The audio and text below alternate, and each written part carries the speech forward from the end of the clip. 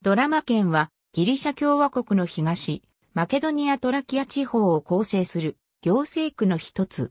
県都はドラマ。東、マケドニアトラキアの西北部の内陸に位置する行政区でブルガリアと国境を接している。ギリシャ領マケドニアの中では東北端にあたる。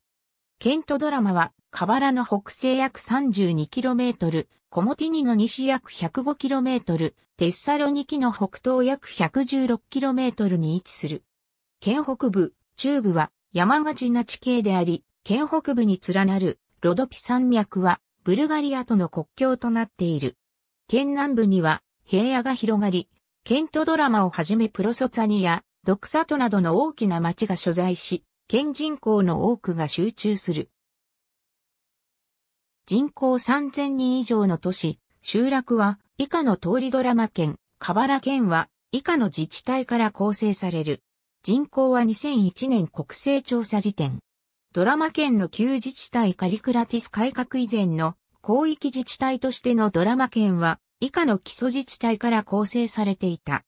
改革後、旧自治体は新自治体を構成する行政区となっている。下表の番号は、渦と対応している。旧自治体名欄で印を付したものはキノティタ。それ以外はディモス。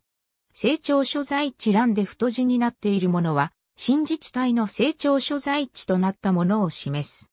ノモスとしてのドラマ県には、ノモス全域を領域とする一つの軍が置かれていたが、2006年、移行法的な位置づけは行われていない。ありがとうございます。